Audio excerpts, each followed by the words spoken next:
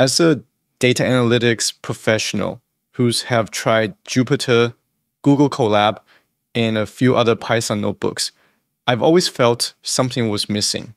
And to be honest, I was never a big fan of Python notebook, that is, until now.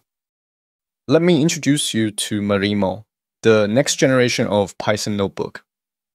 Marimo is an open source reactive Python notebook. What makes Marimo stands out from other Python notebook is that it is executable as Python scripts, Git friendly, and can be used to build web apps. Being able to create a web app using a Python notebook is a game changer for me. I have been using Marimo for the past two weeks for my data analytics consulting work, and so far the whole experience has been smooth and I have no complaints. In this video, I will go through how to get started with using Marimo so you can try out the Python notebook for your data analytics projects on your own. To get started with using Marimo, Let's create a Python virtual environment first to minimize conflicts among packages from different projects.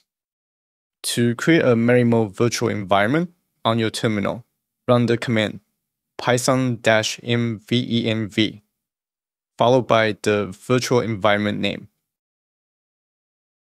Cd into the Python virtual environment directory and activate the virtual environment. To install Marimo, run the command pip install Marimo. Just like Jupyter Notebook, Marimo has its own command line interface. You can see the available commands using the Marimo help command. Marimo ships with several tutorials like how to work with Marimo's UI widgets, how to implement data workflow, use Markdown, etc. I will cover those topics in more detail in separate videos. To view the tutorial list, run the command marimo tutorial help.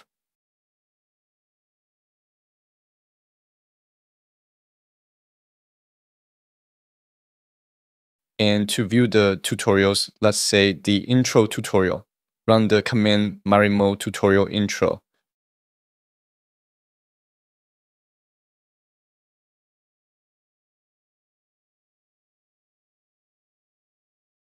On the left panel, you have different tabs.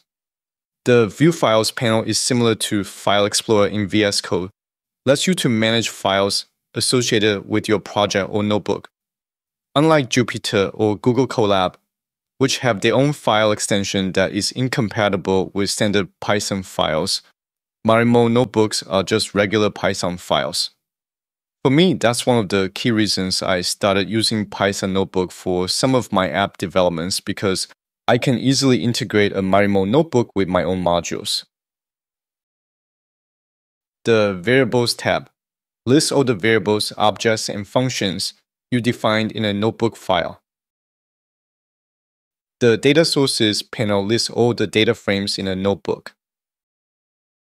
The dependencies panel shows the relationship between different Marimo elements. A Marimo notebook essentially is a DAG, where nodes are cells and edges are data dependencies. On the dependencies panel, you have different views available to visualize the element relationships in graphs.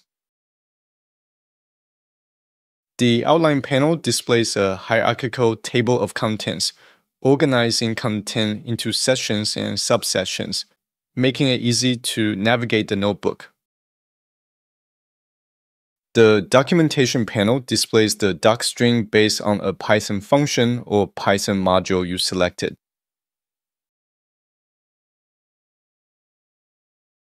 The logs panel displays the log message and print statements to help with debugging.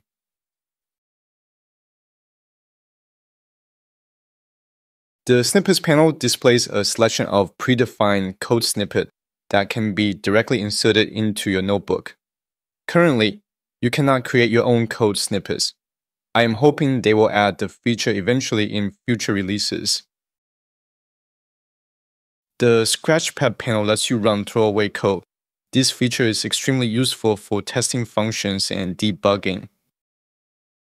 And lastly, the feedback panel to submit feedbacks. Now let's review Marimo Notebook settings. Now let's check out what you can do with Marimo Notebook settings. On the bottom, you have three icons. One for Save the Notebook, one for toggling the notebook view, and one for displaying the command palette. In the footer, you can view notebook's kernel, memory, and CPU usage. By default, Marimo runs notebooks automatically on startup. You can change the auto-run setting to lazy by click the on startup icon in the footer. In Marimo, lazy loading automatically marks cells affected by module modifications as stale, letting you know which cells need to be rerun. In auto-run automatically reruns cells affected by module modification. In the menu setting, you can publish the notebook as HTML page. Download the notebook in different file format, including as a regular Python file. Activate the helper panels, change notebook views, and a few other functions. Just like VS Code, Marimo has its own application configuration settings. I haven't really get a chance to experiment all the settings, the one I use the most is the width setting to make the content wider. You can also add a CSS style sheet to change how the notebook looks. I know some people like the dark theme look. Under display, you can set the color theme to dark. The change the cell output area lets you change if you want to display the block output above or below the code area. If you are using other package managers to manage Python libraries, you can choose your own package management manager. Marimo also has its AI assistant and AI code completion feature built in, which I will cover those in separate videos. I think that's everything I'm going to cover for the introduction video. Just to give you a quick walkthrough to showcase the features and UI interface of Marimo Notebook. I will be releasing more videos on how to use Marimo for app development and data analysis, so stay tuned. And don't forget to like the video and subscribe. See you in the next one.